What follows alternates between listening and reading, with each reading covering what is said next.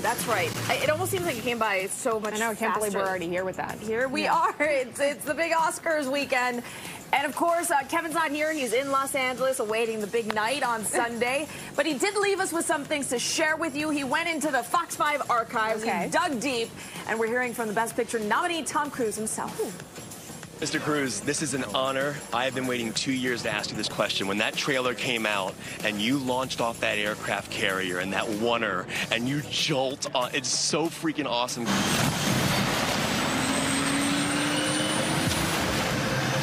I always wanted that cat shot. I wanted that shot. I wanted that shot in the first Top Gun.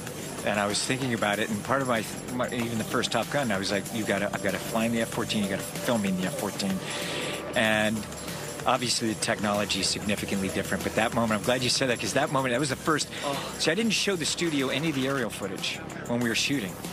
We were shooting, and I finally was about you know five weeks into it.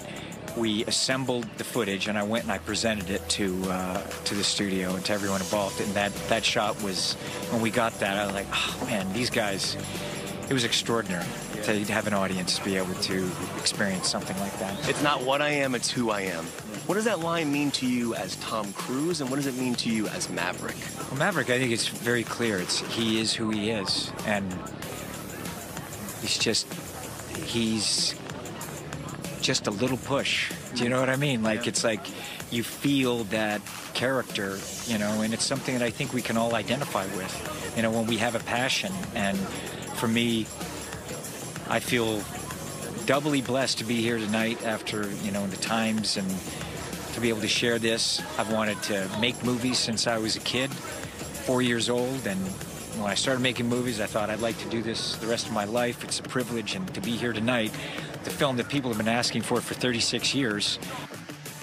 Yeah, here's the thing. Tom Cruise is really the big winner in Hollywood. Uh, he brought people back into the movie theater right. during the pandemic, and, and, maybe we'll see the Academy thanking it with a little wink yeah, one way or the other. He is uh, nominated for Best yeah. Picture with Top Gun Maverick. So, of course, we're going to make our own Oscars predictions, but let's talk with the professional yeah. first, Kevin, Kevin and what his predictions are.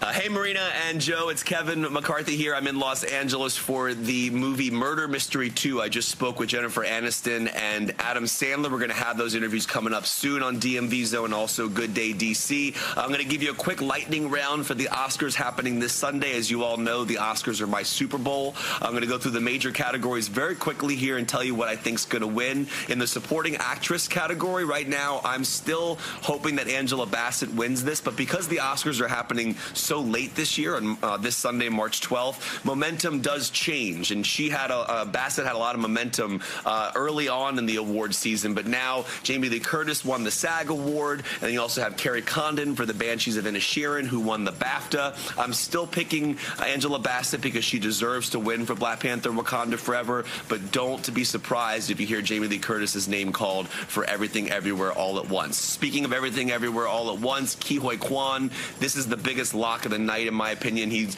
going to win supporting actor for Everything Everywhere All at Once, and deservedly so. Um, in the actress category, this comes down to two major uh, actresses, uh, Cate Blanchett for Tar, as well as Michelle Yeoh uh, for Everything Everywhere All at Once. Uh, Cate Blanchett has won two Oscars um, uh, in the previous years with The Aviator and Blue Jasmine. Michelle Yeoh, I think, deserves this award, and she won the SAG, and I do believe that she will win on Sunday night. Actor, again, this is a this is a coin toss. Brendan Fraser uh, for The Whale or Austin Butler for Elvis. It could be either one. Uh, you know, Butler won the Golden Globe. Butler also won uh, the BAFTA. Brendan Fraser won the Critics' Choice, and Brendan Fraser won the SAG. So I'm taking I'm taking Brendan Fraser, but it could be either one. Also, you could see a split. It could also go to Colin Farrell. And then real quick, Best Picture and Best Director. That's going to be Everything Everywhere All at Once for Best Picture, and also the directors, the Daniels. Don't be surprised though. You could see a Top Gun Maverick uh, uh, win slip in there possibly. Well, you, you never know, but right now I think it's going to be everything everywhere all at once. I love you guys and miss y'all, and I'll see you in studio on Monday morning.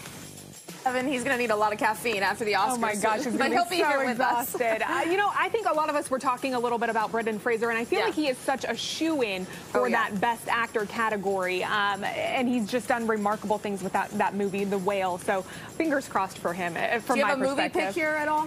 You know, honestly, I'm not gonna lie, I really haven't seen that But many you're not the only right one. That's now. so fair Like, because I think a lot of people have no idea what's out there. Yeah. It's like what everything everywhere all Everything, at once. Yeah. I've heard so much about that one, but I've also heard it's a, it's a little strange. Yeah, you gotta be in, in a. It, it's a. It took me like three tries to get Really? through it. So Okay. yeah, that's my pick, and I think it's because uh, Hollywood will go with something crazy. But I'm with Kevin. I think Tom Cruise is gonna sneak in a win somewhere. I'd like to see that. We'll see when he comes back on Monday.